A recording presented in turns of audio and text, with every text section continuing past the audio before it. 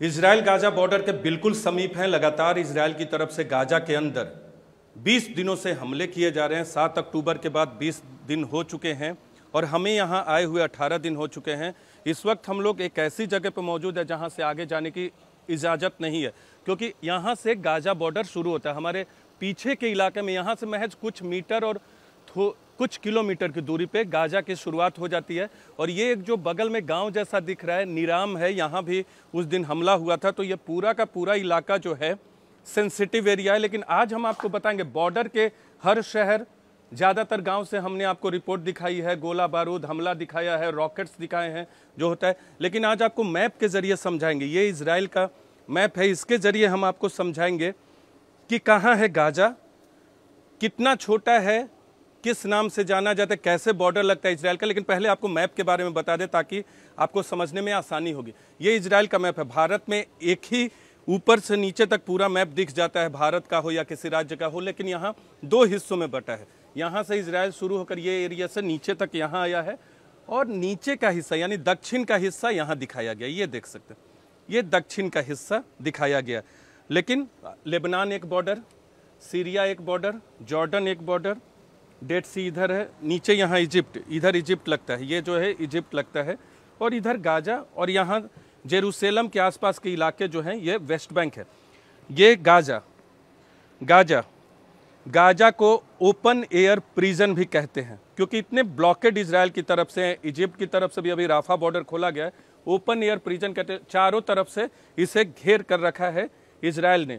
और ये इधर वेस्ट बैंक है, यानी पैलेस्टीन इन दोनों को मिलाकर बनता है। जेरूसलम के आसपास का जो इलाका है, जेरूसलम पर अधिकार इसराइल का, लेकिन जेरूसलम के आसपास ऊपर बेथलेहम, रमल्ला यहाँ आपको दिखेगा, रमल्ला या इसके ऊपर नाबलूस, ये सब वेस्ट बैंक के इलाके हैं। और ये गाजा है, अब गाजा पे फोकस करते हैं। कैमरा पर्सन आपको दिखा रहे, कैमरा पर्सन करम आपको दिखा रहे हैं गाजा। देखिए, यहाँ पूरा ये गाजा है। ये कह सकते हैं, साउथ, ये भूमध्य सागर के पूर्व में है गाजा, इधर यहाँ मिस्र है, इधर मिस्र है, ये राफा बॉर्डर है जिसका आपने नाम सुना लेकिन इसराइल की बॉर्डर कैसे लगती है? यहाँ से यहाँ से लेकर ये लाइन जो है जा रही है, जो आपको देख रहे हैं, ये यहाँ तक, यहाँ मिस्र है।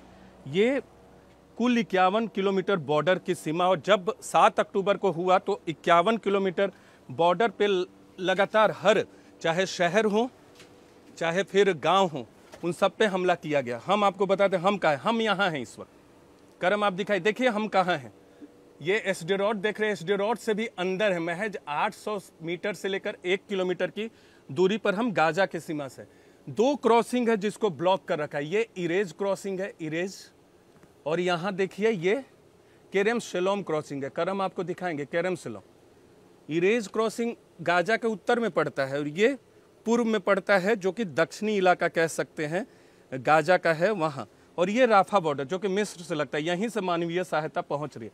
अब आपको दिखाते हैं छोटे छोटे गाँव करम आपको दिखाएँगे। जो जो बहुत पॉपुलर हुए हैं इस बार।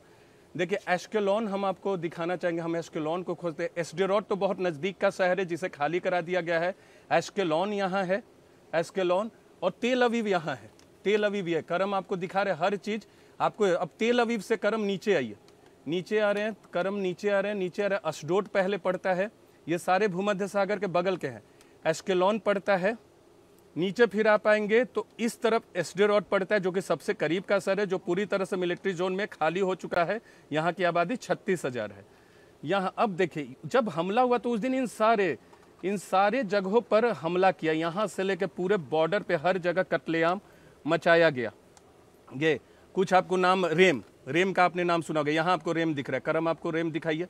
रेम, बेरी, फाराजा, ये सब छोटे छोटे गाँव है। ये दूरी बिल्कुल कम है। यहाँ आपको इतनी दूरी जो लग रही है, ये दूरी बिल्कुल कम है। एक किलोमीटर कुछ तो बिल्कुल सटे हुए हैं इसमें से इलाके। ये सारे पे हमला किया गया। नीराम नीराम पे भी हमला किया गया, जहाँ इस वक्त हम लोग मौजूद है।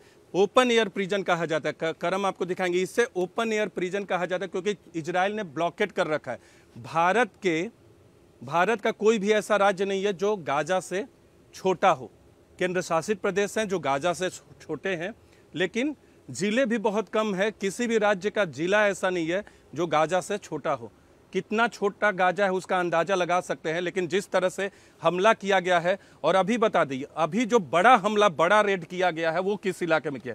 देखिए, गाजा यहाँ है, और बार बार इसराइल कह रहा है कि इस इलाके में जो रहने वाले लोग हैं, वो इधर की ओर भागे, नीचे की ओर भागे, नीचे की ओर भागकर खान यूनिस की तरफ़ जाए, राफा की तरफ़ जाए, ताकि इस इलाके में जब हमला करे, क्योंकि जो बॉर्डर है, गाजा के जो हमास के आतंकी यहाँ से गोले छोड़ते मिसाइल छोड़ते यहाँ से यहाँ से यहाँ से, इधर छोड़ेंगे एस्केलॉन पे छोड़ेंगे एसडोट पे छोड़ेंगे, तेल अवीब पे छोड़ेंगे और इधर के एसडेरोट इन सब पूरे बाउंड्री एरिया पे छोड़ते हैं। तो कोशिश है इसराइल की कि इस नॉर्दर्न एरिया को पहले तबाह बर्बाद किया जाए, हमास के ठिकानों को तोड़ दिया जाए। आपने वीडियो देखे होंगे टैंक। ये पूरा इक्यावन किलोमीटर का जो एरिया है, यहाँ से लेके यहाँ तक, यहाँ, एक बफर जोन है जहाँ जाने की इजाज़त नहीं है। हम बफर जोन से पहले हैं इस वक्त जहाँ मौजूद है, जहाँ इस मैप के ज़रिए आपको दिखा रहे हैं। और ये पूरा ओपन एयर प्रिजन इसको कहते हैं। इधर भी कब्जा है और जो कल जिकिम अभी जिकिम में एक आतंकवादी को मारा था, ये जिकिम पर भी हमला किया था उस दिन। ये महज एक से दो किलोमीटर की दूरी है क्योंकि केवल इसराइल का मैप है और इसराइल बहुत छोटा देश है तो इतनी दूरी जो भारत के मैप में आपको दिखते वो पचासों सौ किलोमीटर में हो सकते हैं, लेकिन यहाँ महज एक से दो किलोमीटर की ये दूरी है।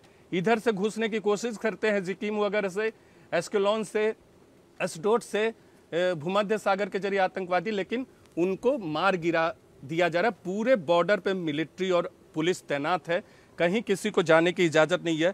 और 20 दिन के बाद एक बड़ा हमला किया है और खुद प्रधानमंत्री नेतन्याहू ने और हमारे एक सवाल के जवाब में, न्यूज़ एटीन इंडिया के सवाल के जवाब में कहा है कि इस इलाके में ग्राउंड इन्वेजन होगा और ग्राउंड इन्वेजन इधर से होगा। हालाँकि ये आधिकारिक तौर पर नहीं कहा गया, लेकिन इधर से भी घुसने की कोशिश करेंगे, इधर से भी घुसने की कोशिश करेंगे। इरेज है इरेज ये इरेज क्रॉसिंग है बॉर्डर क्रॉसिंग सात अक्टूबर से पहले जो पैलेस्तीनियन यानी गाजा के लोग अंदर काम करने आते थे, उन्हें जाने, आने की इजाज़त थी इसराइल में। इसराइल के लोग नहीं जाते थे, यहूदी नहीं जाते थे। उन्हें आने की इजाज़त थी। ये जो केरेम सरोम है, यहाँ से सामान, वस्तुएँ आने जाने की ज़रूर इजाज़त थी।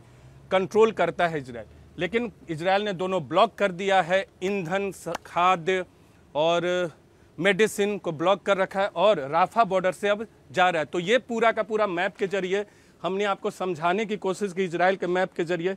बहुत छोटा सा देश। भारत में बहुत ऐसे कम राज्य हैं जो इसराइल से छोटे हैं। गाजा।